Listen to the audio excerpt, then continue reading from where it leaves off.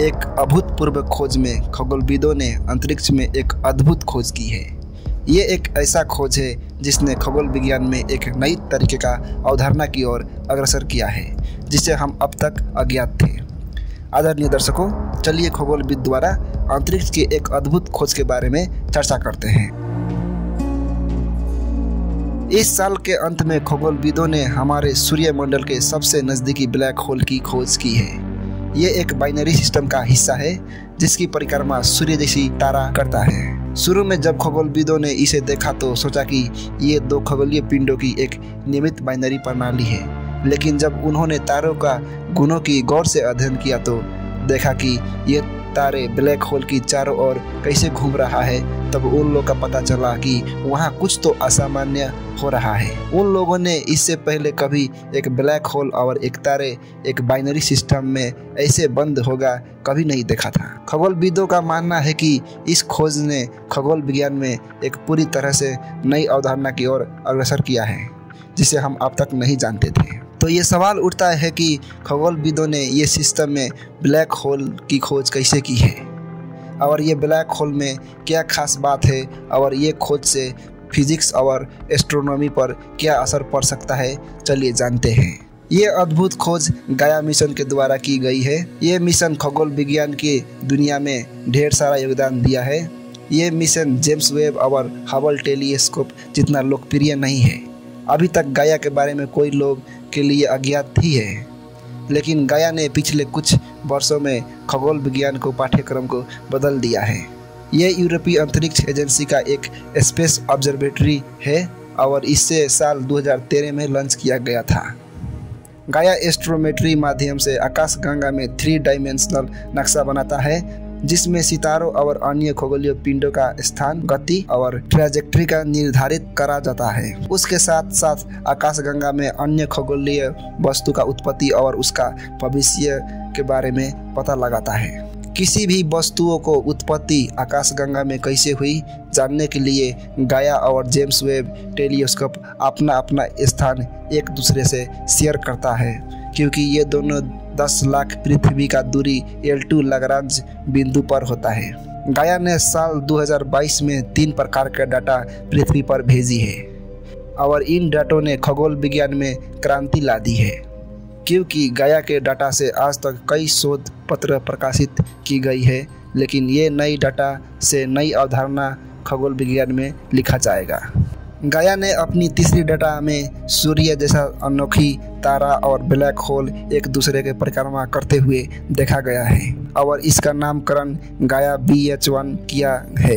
ये एक binary system है और ये पृथ्वी से पंद्रह सौ वर्ष दूरी पर स्थित है। इस सिस्टम में के ब्लैक होल एक ताराकीय दरमियान वाला ब्लैक होल है और ये ब्लैक होल सूर्य और जी टाइप स्टार के पिंड से 10 गुना विशाल है। तारकीय खगोल भौतिक में तारों का सतह के तापक्रम के आधार में सात प्रकार के वर्गीकृत किया जाता है। वो है ओ बी ए एफ़ जी के और एम इसमें सबसे ज़्यादा वो प्रकार के तारे बहुत ज़्यादा गर्म होता है। इसकी सतह के तापमान लगभग तीस हज़ार केल्विन तक होता है और एम टाइप के तारे सबसे ठंडा होता है। इसकी सतह के तापमान करीब चौबीस सौ से लेकर सैंतीस केल्विन तक होता है। इन तारों के वर्गीकरण में जी टाइप के तारे हमारे सूर्य पड़ता है और इनका तापक्रम लगभग बावन सौ से लेकर छः हज़ार केल्विन तक होता है। तो खगोलविदों ने पता लगाया कि गया बी एच वन सिस्टम में जो तारे हैं, वो जी टाइप के तारे हैं और इसका सतही तापक्रम लगभग अंठावन सौ पचास केल्विन है। जो लगभग हमारे सूर्य के संतावन सौ अठहत्तर केल्विन के तापक्रम के करीब है। बात करें इसकी मास की तो ये सोलर मास की बराबर है। ये तारा हमारा सूर्य की जुड़वा जैसी है। एक और अनोखी बात खगोलविदों ने नोट की, जो आप सुनकर दंग हो जाओगे। वो बात यह है कि ये जी टाइप के तारे और ब्लैक होल अपनी मास एक दूसरे को ट्रांसफ़र नहीं कर रहा था। इसलिए पता चला कि ये एक निष्क्रिय ब्लैक होल है, जो एक्सरे रेडिएशन का उत्सर्जन नहीं करता है, जो वैज्ञानिकों को इसे खोज करने में और कठिन बना रहा है।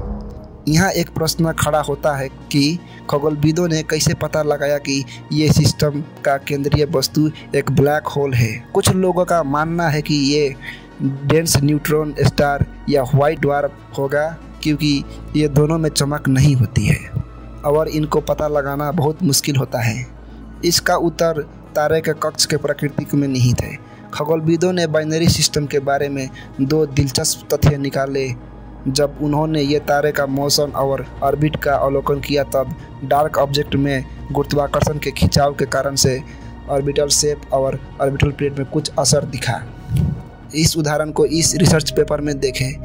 इसकी बायां तरफ़ में छः वर्ष में आकाशों में जी स्टार की अपेक्षित गति को दिखाया गया है।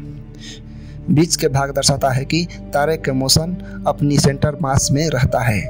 और बेरी सेंटर में पैरालक्स बाद उचित गति को हटा दिया जाता है। इससे रेडियल वेलोसिटी और एस्ट्रोमेट्री के सहायता से प्राप्त किया जाता है। और अंतिम वाला में गया के एस्ट्रोमेट्रिक समाधान पर तारे को ट्रैजेक्टरी को दर्शाता है। और इसका कक्ष हाई इसेंट्रिसिटी का साथ स्पष्ट रूप से अंडाकार है। इसेंट्रिसिटी एक मापन है। जब एक कक्ष पूर्ण रूप से वृत्तकार बनता है, तब इसका मापन किया जाता है। जी स्टार का इसेंट्रिसिटी 0.45 है, जो हमारे सूर्यमंडल में प्लूटो की कक्ष से दो गुना है।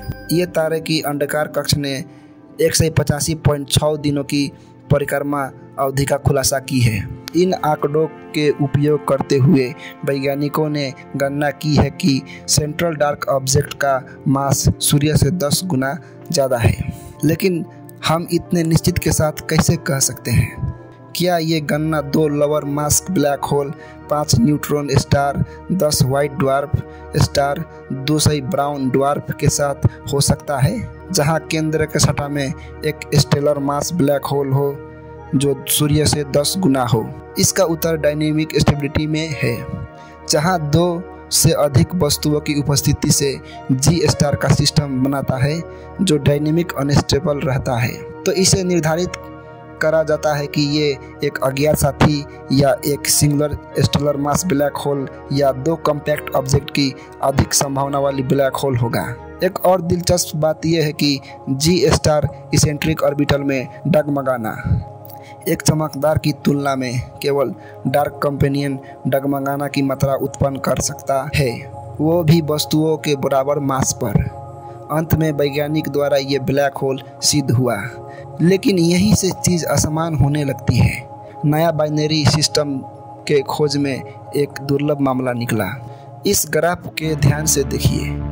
इसके बीच में मास ऑफ़ ब्लैक होल और ऑर्बिटल पीरियड स्टार सिस्टम में लक है। अगर किसी जानी हुई बाइनरी सिस्टम जिसमें ब्लैक होल है, उसे इस सिस्टम से कंपेयर करें तो इसकी तुलना में गाया बी एच वन अलग है। इसकी विशेषताएँ N G C three two zero one के समान है।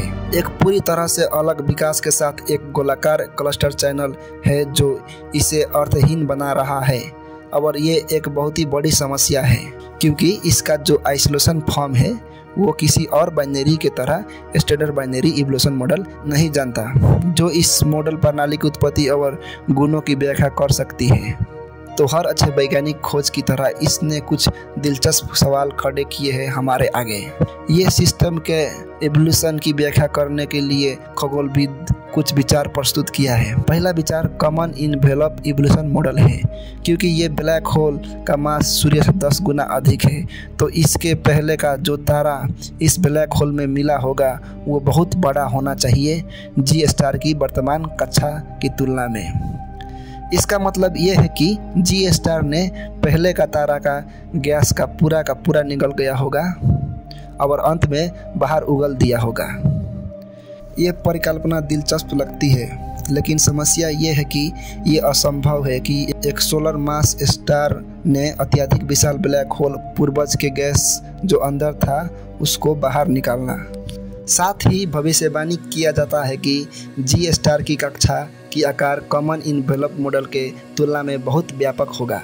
अब तक हमारे पास जो बाइनरी इवोल्यूशन मॉडल है, इस चुनौती से बहुत दूर है और समस्याग्रस्त भी है। एक और परिकल्पना है कि ये सिस्टम एक खुले रूप से स्टार क्लस्टर में गतिशील रूप से बनता होगा। जो बाद में गायब हो गया होगा। हालाँकि सिस्टम के विकास की व्याख्या करने वाली सबसे अच्छी परिकल्पना ट्रिपल स्टार सिस्टम मॉडल है। ये मॉडल में जी स्टार शुरू में दो नज़दीक बड़े सितारों के बाइनरी सिस्टम में ट्रेसरी कंपेनियन करता होगा। वो दोनों के इंटररिएक्शन से सुपर जाइंट बनने से रोका, जिसके परिमाण स्वरूप दो lower mass black hole binary system में बना होगा।